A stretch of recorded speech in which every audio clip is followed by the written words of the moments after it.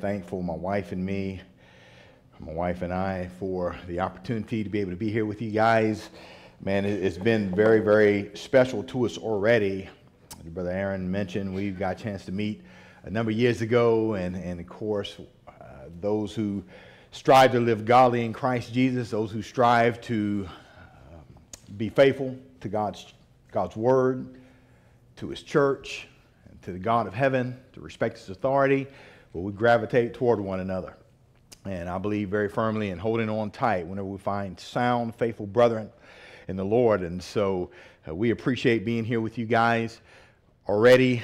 Uh, we had some cards that were sent to us weeks ago. Man, I've never had that happen before. And so I definitely want to tell whoever sent those cards, I'm not sure who it is, who it was, but we've got a number of cards that were sent to us from members of the church here just telling us, hey, we're excited about you guys coming. We look forward to it. And, and like I said, in, in, 27 years of preaching the gospel, I've never had that happen before. And so that in and of itself is extremely special.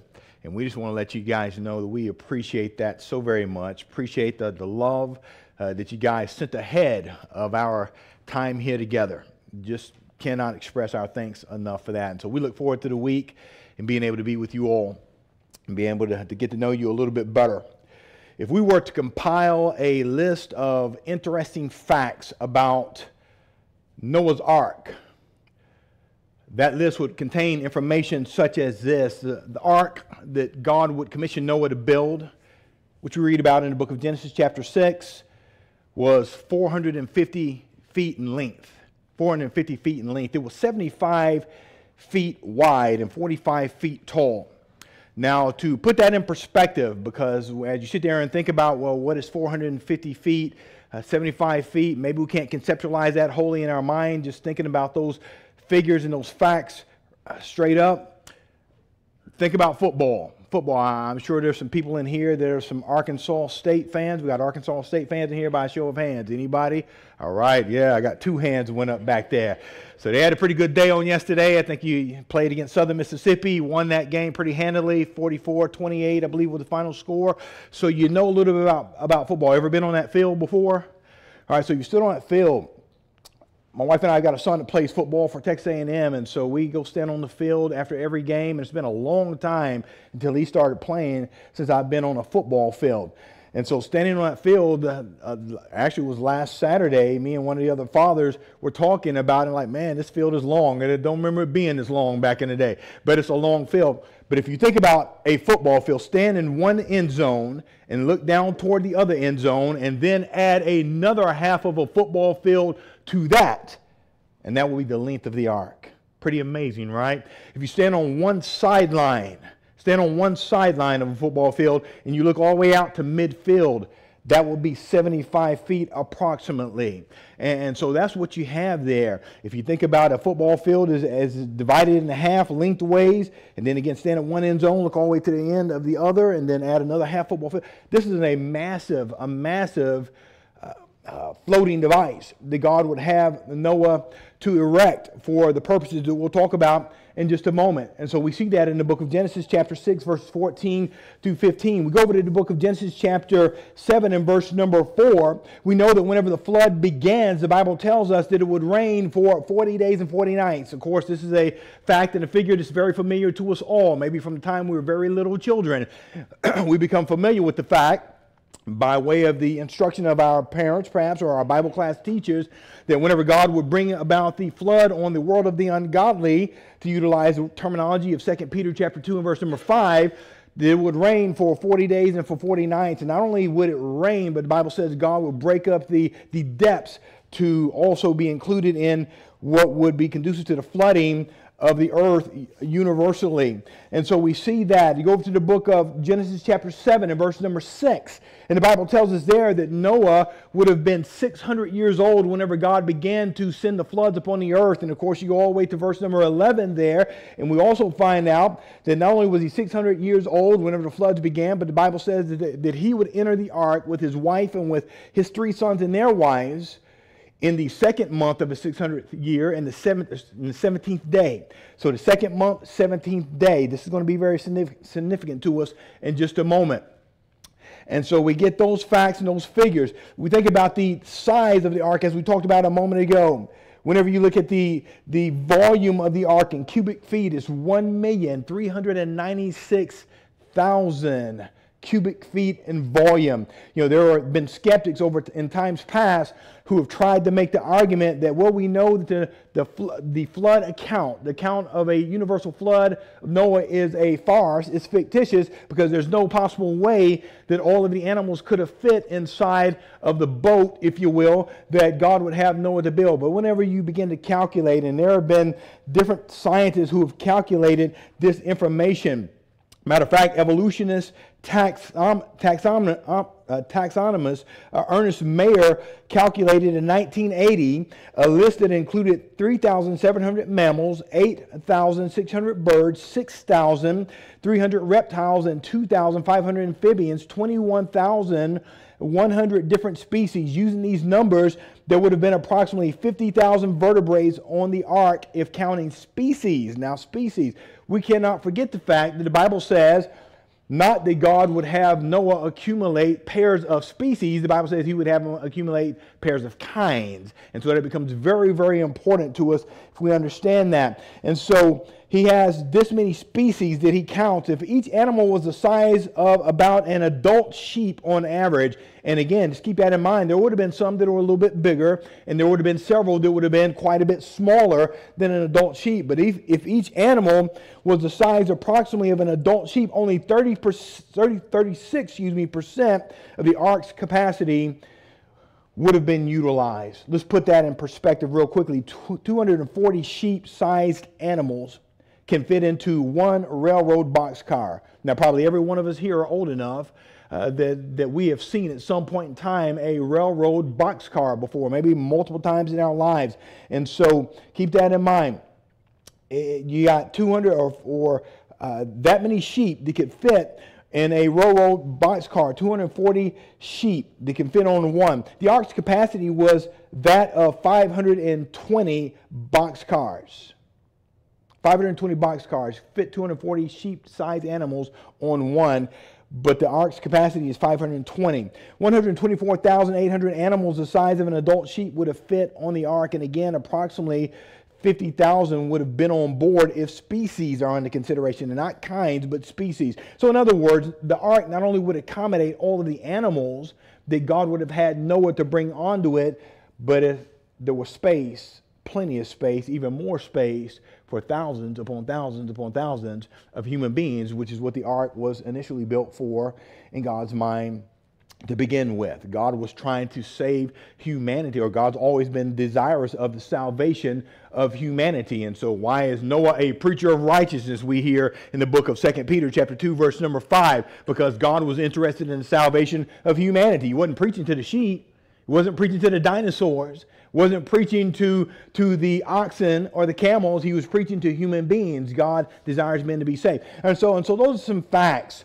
some facts about Noah's Ark. But of course, we know that whenever we go over to the book of Genesis chapter 6, it's not about just the accumulation of fun facts as we as we would say in Genesis chapter 6 verse uh, chapter 6 verses 1 through chapter 9 that's not what it's about. We know that in the book of Romans, chapter 15 and verse number 4, the Bible says that whatsoever things are written aforetime were written for our learning, right? So Paul, of course, has been talking in the book of Romans 14 about how that we ought to treat one another as human beings, how we, as members of the church in particular, of course, there's this conflict that's going on between the meat eaters and the vegetarians, and they're judging one another, and there's some problems that are arising as a result of the conflicting worldviews or doctrinal beliefs, or, or, or, they're not really doctrinal beliefs, uh, expedient beliefs there, and so where that is concerned, God says you need to treat one another the right way, properly. Even if you have a liberty, it might be conducive uh, to the well being of the congregation to forego a liberty if it's going to cause conflict among us. Of course, is not including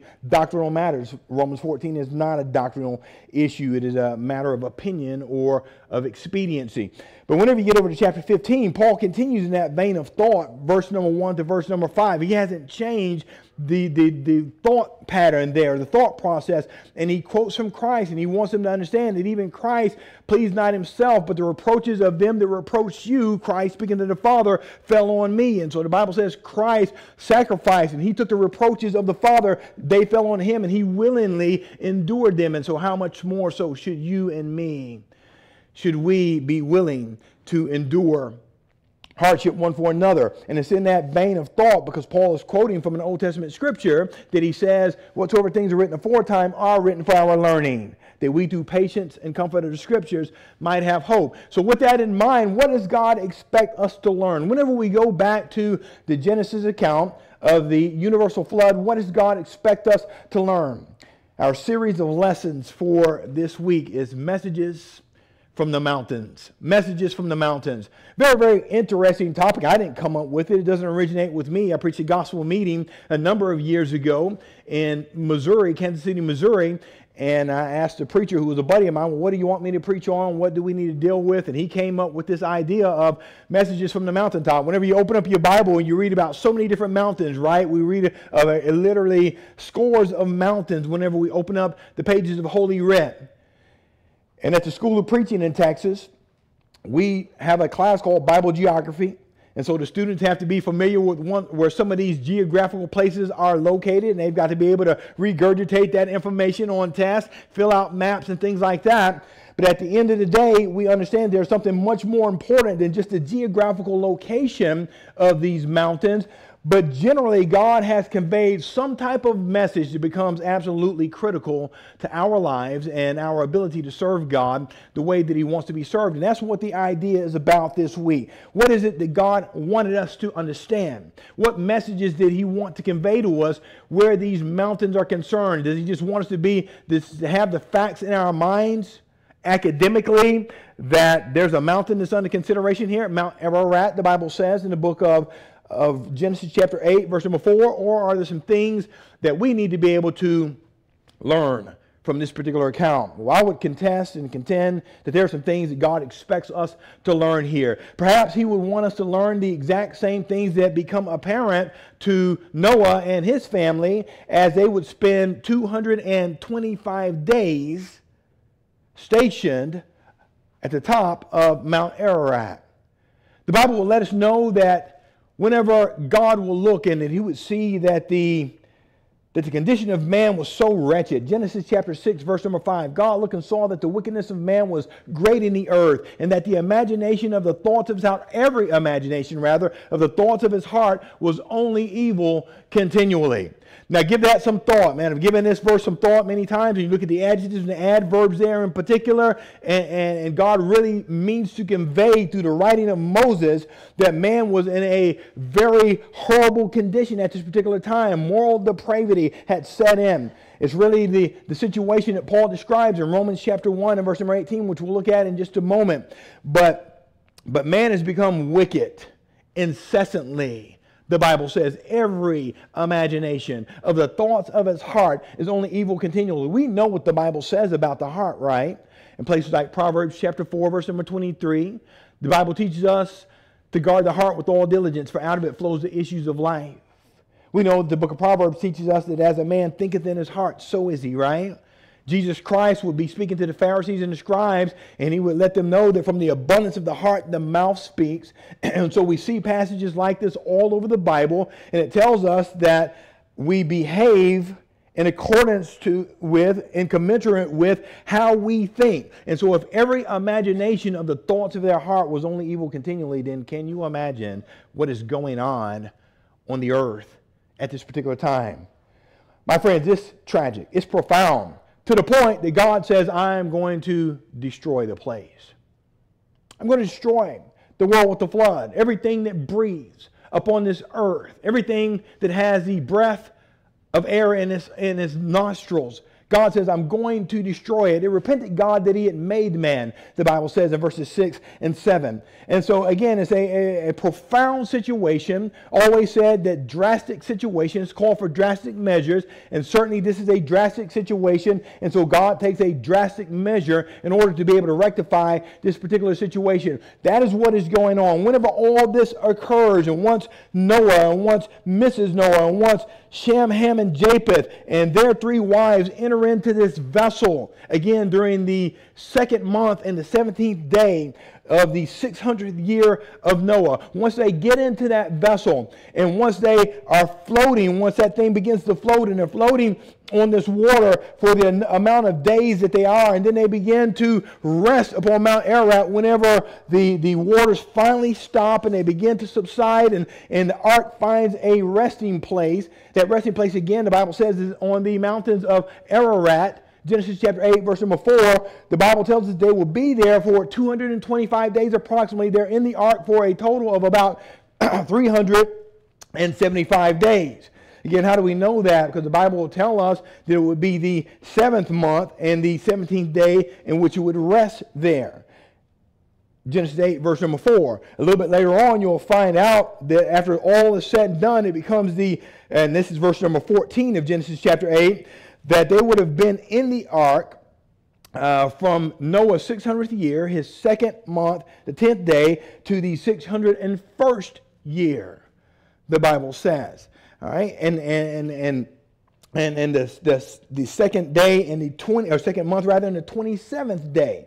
And so again, you take a year and you add 10 days to that, approximately 375 days there in that ark. 225 of it, again, they're stationed on Mount Ararat. What is going on in their minds? Take yourself to their situation.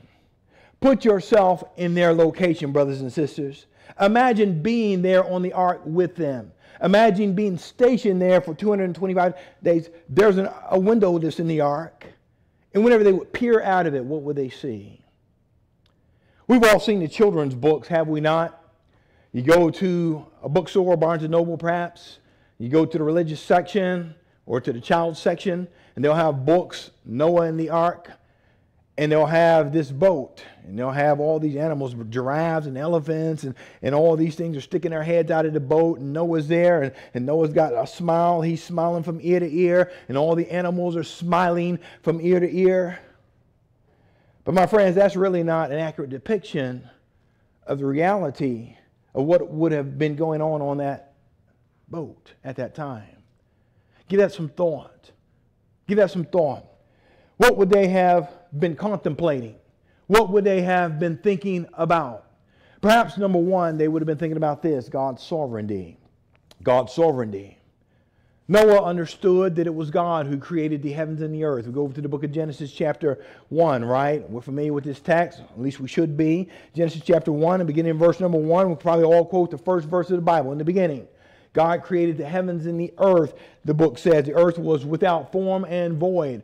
Darkness was upon the face of the deep, and the Spirit of God moved upon the face of the waters. And the Bible says, God said, Let there be light, and there was light, and God saw the light that it was good.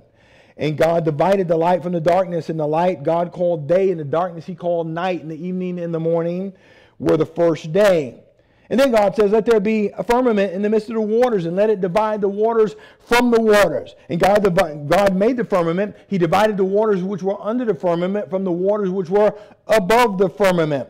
The Bible says, and it was so. And God called the firmament heaven, in the evening and the morning were the second day. But notice then, verse number 9, and God said that the waters under the heaven be gathered together unto one place, that the dry land appear, and it was so. And God called the dry land earth, and the gathering together of the waters called he the seas. And God saw that it was good. And so, no doubt, Noah and his family would have been familiar with this truth. They would have been familiar with the fact that the sovereign, almighty God of heaven, that he is the creator. And if he's got the ability to create the heavens and the earth, and if he's got the ability to be able to create the light and the darkness and all things that are contained within the universe, and then set them into motion to where they are perfectly calibrated to be able to function until he says that they will not function any longer, then this is certainly a God who's got the right, who's got the authority, who's got the ability, who's got the sovereignty to be able to tell Noah that, look, I'm going to destroy this earth. It belongs to him. It belongs to him. I think about places like Psalm 24, verses number 1 and 2. The earth is the Lord's and the fullness thereof, the world and they that dwell therein. This thing belongs to God. Psalm 50 lets us know that a cattle on, the cattle on a thousand hills belongs to God. God is trying to impress upon the minds of the children of Israel that if I was hungry, I wouldn't ask you. All right, all of this belongs to me anyway. He made it. We're familiar with the book of John and how that he introduces the Word to us, Jesus Christ, the Son. He says, In the beginning was the Word, the Word was with God, the Word was God. The same was in the beginning with God. Listen to this. All things, verse number three, were made by him, and without him was not anything made that was made. The world belongs to God, he made it. And as they peer out of the window of that ark and they see nothing but water for as far as they can see, they understand that God made this. Maybe their minds are taken back to, to what we see here. Did they have, did, you know, we know at this juncture they didn't have the revelation that we have known as the book of Genesis, but maybe that perhaps they certainly did know everything that we do know about the beginnings of the earth. And, and I think about what we just read. The earth at one point in time is engulfed in water. And so they're looking at the earth perhaps the way that it looked very similar to the way it looked whenever God first created. The entire thing is engulfed in water to begin with. It's not to the third day that the Bible says God would separate the waters that were beneath the firmament that he calls heaven and allows dry land to appear. Right now, at this point in time, there is no dry land that appears. They're looking out and all that they see is water. How, how interesting would that have been? How indicative of the great power and wonder and might of the God of heaven. He's sovereign. So many times when we look back through the annals of human history, we see that God has been the one that regulates the elements, the astronomical elements. I was just reading the other day in the book of Exodus how that during the, the conquest of Canaan, before they even get into the Canaan land, when, when they're winding down the, the wilderness wanderers, they get into a fight the Israelites do with the Amalekites. And the Bible says that Joshua, who was the commander of the army at that particular time, that he would pray to God for the, the sun to be able to stand still in the sky. And the Bible says that it did for about a 24 hour period. The sun stands still in the sky. Who's got the ability to do that? Joshua didn't ask Moses to do it. He didn't try to do it himself. He didn't ask Hur or Aaron to do this. The Bible says that he prayed to the God of heaven. He's the one who's got the ability to do something like that. And of course, we understand all has got to transpire in order for the sun to stand in one part of the sky and the moon to stand in the other part of the sky for a 24 hour period. This terrestrial ball in which we live is, is, is rotating, is circulating. And he's got to stop the rotation of the earth in order for that to happen. Very, very interesting. But guess what? God is able to do this in the book of Jeremiah. I think it's chapter 32, verse number 17. I may have that backwards. It might be 1732. But the Bible teaches us that Jeremiah says, O Lord God, thou hast created the heavens and the earth with thy power and thy outstretched arms. There is nothing that is too hard for thee. Nothing that is too difficult for God when we think about what it is that he has done already. Our God is a great God. He's a mighty and magnificent God. One of the most tragic occurrences in human life is when people turn their backs on the facts of these matters and they begin to dismiss God from the conscience right now in our, our country. My friends, we are laden with, with atheism.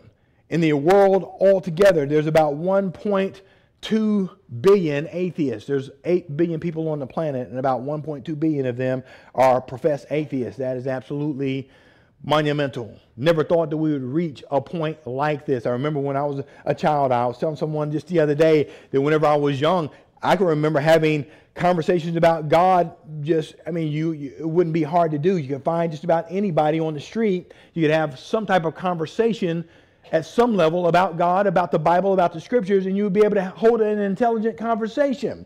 Guess what? That day is gone. That day is gone. You are very likely in any given day to encounter half the people who have no idea who the God of the Bible is, no idea who Jesus Christ, our King, is, have no idea what the Bible even says. And it's tragic. But whenever Noah and his family look out of the window of that ark, no doubt what's on their mind is the almighty sovereignty of God. Anytime that we see things occur that are, that are, that are, just uh, profound to us, we think about God, we, we see sometimes natural disasters, and even though they are natural disasters, these things occur naturally, we still understand that God is the one who controls everything. Jesus Christ is the one who would come up out of the, the, the ship where he was resting whenever his disciples become frantic because they thought they were going to die. And I always think about this. You know, about four of these guys, at least four of them were fishermen. They were on the Sea of Galilee all the time Peter and Andrew and James and John. And so, if this storm that is going on is so profound that it causes these fishermen to say, Lord, save us lest we perish. Jesus Christ has got to wake up from his sleep, and when he does so, he says, Oh, you have little faith. And then he tells the wind and the sea, Peace be still. And that the Sea of Galilee became calm like a, like a sheet of glass. Whenever he says that, Jesus Christ, our God, has control over the elements, everything that exists. He's got control over it. So maybe that's the first lesson that God expects us to come to grips with as we study this account from Mount Ararat is that He is sovereign. But in the second place, here's what God no doubt wants to impress upon our minds, and no doubt He'd impress, impress this upon the minds of Noah and his family. Number two, His hatred for sin. His hatred for sin. My friends, we cannot allow this critical point to escape us. Because as Noah is there on that vessel with his family, and they have been contained in this thing for, for almost a year. And they've looked out, and again, it's not, not this, this, this child's book fantasy of everybody smiling and having a good time. As they look out, they realize our earth is destroyed. Every body that we know has drowned. Maybe there are still corpses that are close enough in proximity to the ark. They're floating by. And maybe they can see these things. No vegetation appears because the Bible says that the waters would, would go so high that it would be 22.5 feet, 15 cubits, 22.5 feet above the tallest mountain peak. There's nothing that can be seen, my friends, nothing. And they're looking at that, and no doubt they're thinking, God has no love for wickedness. God cannot tolerate sinfulness. My friends, that is the facts of the matter. I know sometimes we like to gloss over that fact, and I know sometimes the world wants to dismiss it from their conscience, but it's there regardless. God hates wickedness. Habakkuk chapter 1 and verse number 13. He can't even dwell in the midst of sin. He can't do it. His nature will not permit it. The Bible lets us know God is infinitely, infinitely good. He's infinitely holy, he's infinitely just. He cannot dwell in the midst of sin. He cannot tolerate it. Sometimes we get to where we can tolerate sin. We become desensitized to sin. Matter of fact, we live in a country and in a culture in which they strive diligently to try to desensitize you and me to sin. They take things that are heinous and are abominable and they want to give it names and assign it, assign it different designations that make it as though it's not as wicked as it actually is. Abortion. Abortion. No, we abort missions if we're soldiers and we get that commandment to do so. We abort missions. We don't abort children. Children have to be murdered if you want them to cease to exist. We need to call it what it is because God does. And he hates it. I know that because the Bible said so. Proverbs chapter 6, verse number 16. 16 is God hates. Yea, seven are an abomination to him. You know what one of the things on that list is? I think it's the third thing on the list. It's hands that shed innocent blood. Can you imagine any blood? Can you think of any blood that is more innocent than a child that is still in the womb of its mother? And since 1973 in this country, women and men have aborted 1.6 million babies per year. Per year. It's mind boggling. But we want to dumb it down, right? We want to call it abortion. We want to call it a woman's right to choose, a woman's right over her own body. I heard a politician say just the other day. I'm so glad he's got enough sense to say something like this. You know what? You might have control over your own body, but the body that's growing inside of you is not yours. It's not yours. Belongs to the child. It's not yours. But again, that's what's going on homosexual behavior and alternative lifestyle. I've been here, I uh, began hearing that when I was in my teen years. It wasn't as prevalent back then, but that's what they called it back then an alternative lifestyle. Being in the closet is not all that bad, it's just an alternative lifestyle. God says it's an abomination. He said that in the Old Covenant, and he says the exact same thing, the exact same thing in the New Testament for those who want to say, well, that was the Old Covenant God. That's the Old Testament God that says homosexual behavior is an abomination. Leviticus chapter 22, no, the New Testament God says the exact same thing in Romans chapter 1, beginning at verse number 24 and going down to verse number 32. 1 Corinthians chapter 6, beginning at verse number 9, going down to verse number 11. The, the New Testament God, which is the Old Testament God, says the exact same thing. God cannot suffer wickedness, He cannot bear sinfulness. And the Bible tells us that if we, as his children, step out of the light of Jesus Christ and we step into darkness, that we sever our fellowship with God. 1 John chapter 1, verse number 6 and 7. Why is that? Because God cannot suffer wickedness, is why. We might get to where we can tolerate it, where we can stomach it, where we can palate it, where we can digest it, but God cannot, nor will He ever be able to. And so, whenever Noah and Mrs. Noah and their children and their daughters in law are looking out of that window that God would tell Noah to build into the ark. What are they seeing? What lessons are they learning? What messages are they receiving from the Almighty of heaven? Were they receiving the message that I cannot suffer wickedness? I cannot suffer wickedness. That's why Paul would tell the Athenians on Mars Hill during the second evangelistic mission recorded in Acts chapter 17, verse number 30 and verse number 31, after he talks about the foolishness of their idolatry, he says, God winked at this ignorance, but now commands all men everywhere to repent. Why? because he's appointed a day in which he is going to judge the world in righteousness by the man which he has ordained, and he has given us assurance of that fact by having raised him from the dead. Can't suffer this. Romans chapter 1 verse number 18 For the wrath of God is revealed from heaven against all ungodliness and unrighteousness of men who suppress the truth and unrighteousness. And then finally, finally, and we cannot get out of this text without thinking about this beautiful fact. One of the messages that would have been obvious and apparent to Noah and his family and to you and me as we study this text together is that God is a God of mercy and grace. He's a God of mercy and grace.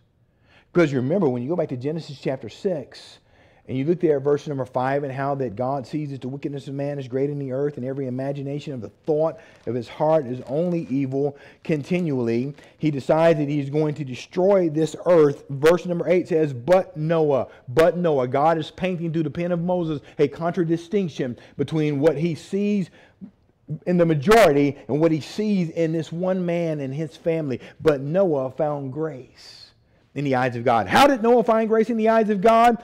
Well, the Bible says Noah was a just man and perfect in his generations. Noah walked with God. Same thing God expects of all of us. Noah begat three sons, Ham, Shem, and Japheth. He goes on to talk about what God instructs him, but notice verse number 22. Thus did Noah according to all that God commanded him, so did he. Go over to chapter 7. Notice verse number 5. Noah did according to all that the Lord commanded him. How did one man and his family find grace in the eyes of God? By doing what God commanded them. Every last one of us can find the same grace. The Bible says in the book of Titus, chapter 2, and verse number 11, that the grace of God, which brings salvation, has appeared unto all men. It means it's readily available for all of humanity. But guess what? It does teach us that we have to deny ungodliness and we have to continue in righteousness. It's not available for everybody, but for those who will be obedient to God through faith in Christ. And so God doesn't destroy all of humanity. Again, 2 Peter chapter 2, verse number 5 emphasizes that during the point in which God is judging the world and when he's destroying the world, he saves eight people. Noah being one of those, the eighth person, when he brought in the flood upon the world of the ungodly. And so God, that same mercy, that same grace is available for every last one of us. And that's